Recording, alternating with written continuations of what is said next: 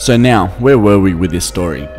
So step number one will obviously have to be to remove the rear windscreen along with the quarter glass. That's where the spot welds are located. So without the glass removed, you are not going to be taking off any quarter panels. So remove the glass. Following that, you want to grab a drill bit with a wire brush on it and remove all the old sealer and paint left over around those areas. This will allow you to see the spot welds that are located behind the glass. Following that, grab that same drill bit, remove the wire brush and put a drill bit specifically made for removing spot welds on. Now it's time to start drilling out those spot welds before finally cutting out and removing the panel.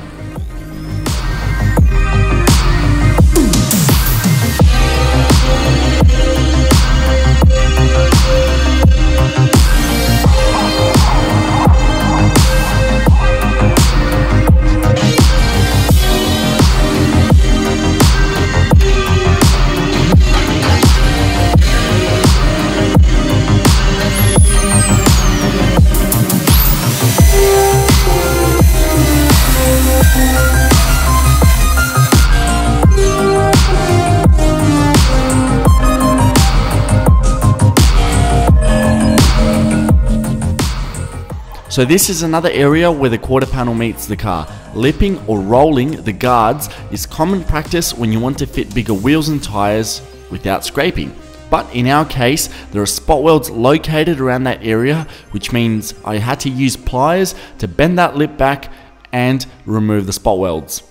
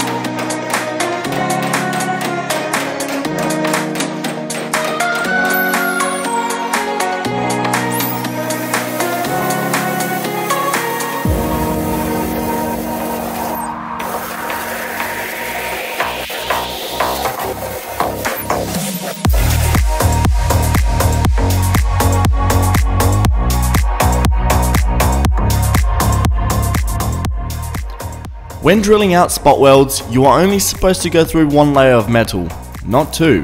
But because I am a bit of an amateur, I went through both pieces, which meant anywhere I went through both pieces of metal, I had to fill in with a bit of weld and grind it down.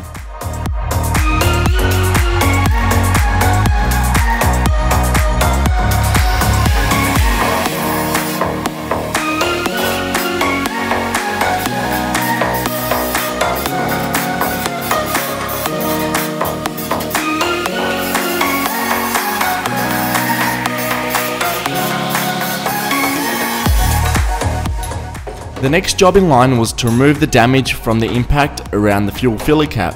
Let's just say I might have gone a bit too far and Pep wasn't too happy about it.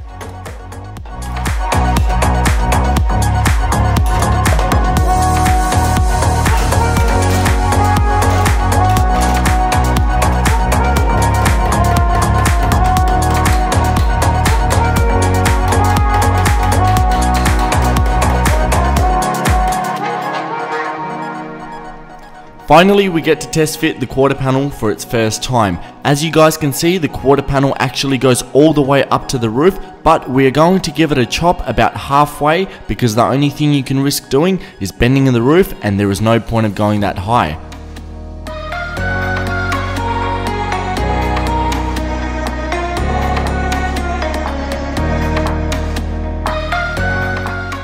Now that the lip has been repaired, it is time to bend it back into the shape it was. If I had to do this process all over again, I think I would just go out and buy a brand new tub because I do think that it would save you a bit of time and hassle. Especially when you go to extend it.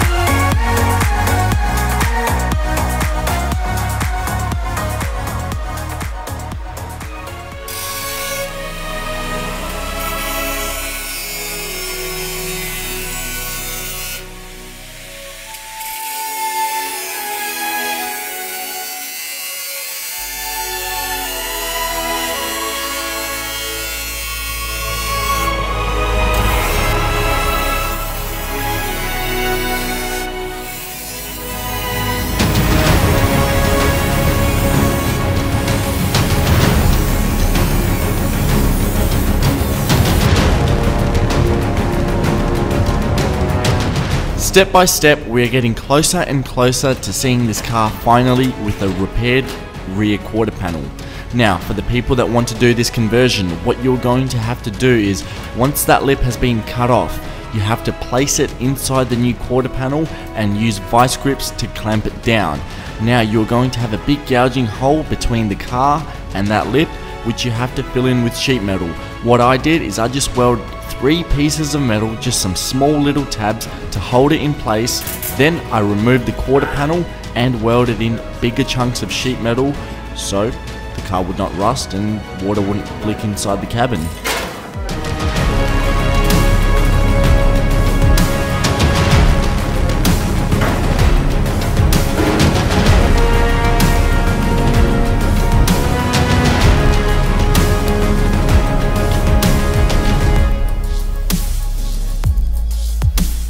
As you guys can see, those small little tabs have done their job of holding the lip in place while the quarter panel is off the car. Now what you want to do is grab bigger pieces of metal, weld one in the middle and two on the sides. That'll make sure that the lip is sturdy in place, which means time to test fit that quarter panel again and see how it all fits up.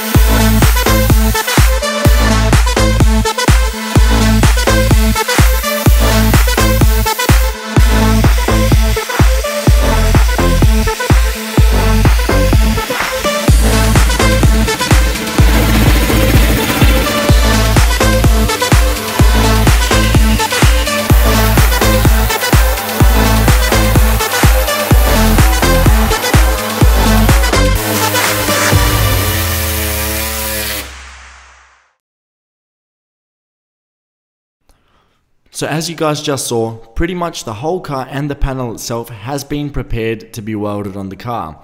Right now, Pep is fixing the part that I pulled out too far. As I mentioned, he wasn't too happy about it. So we had to get the oxy out to heat it up and shrink the metal. Right now, I am applying seam sealer, which will get squished by the outer skin of the car, being the rear quarter panel. Once you apply this, you don't really have much time to work, so be quick, stick that panel on and put a few tack welds in so everything is nice in place. You are also going to have to install your boot rubber just to make sure that all the panel gaps are perfect before finally welding it in.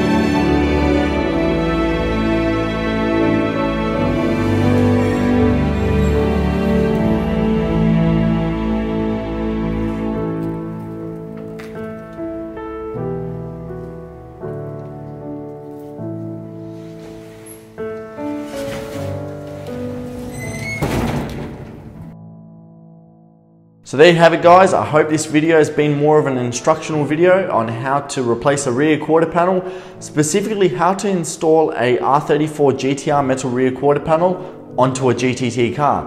Now these parts you can still buy brand new from Nissan. Talking about Nissan, I would like to thank Total Nissan in Cannington for supplying the parts and also providing us with discounts.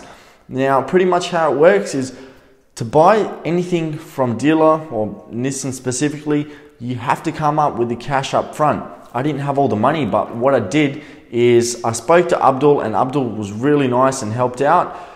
As parts started coming in, I would pay for them. So the left quarter panel was in Australia, while the right quarter panel we had to wait three months for it to get here from Japan. And that's kind of where the discounts came in place. They save money on shipping, but you get the parts later. But because I've got other commitments, I that wasn't really an issue. So again, huge thank you goes out to them, and that's how we are keeping it a true budget build or a poor man's GTR. I would also like to thank my neighbor Pep for helping out and taking me on, guiding me through the whole process. I would also like to thank my neighbor Chris for that's where the car is at the moment. It's just in his garage while we sort out a workshop. Don't really expect any videos on the Skyline within the next two months as I'm going on a bit of a holiday to Serbia from the end of June to about mid-August. So, but once I'm back, there are no, no more excuses for why I can't work on the car except a workshop, but hopefully that's sorted out by then. The rear quarter panels along with the radiator support, I was not confident on replacing myself, so that's now sorted. Now it's all hands on deck to try and get the car painted as soon as possible because those things are labor intensive, which I can do myself, doesn't cost me anything, But motors, gearboxes, anything mechanical costs money. So we might as well smash out the painting and all that, which doesn't cost anything, and slowly start piecing together and doing some research on the engine and gearbox combination. What engine do you want to see in the car? Comment below. Do you want an RB? Do you want a JZ? We're not going to LS swap it. SR? Don't know. So comment below what you want to see in the car. Anyways, I hope you guys have enjoyed the video and if you like this sort of content, consider subscribing. Thanks for watching.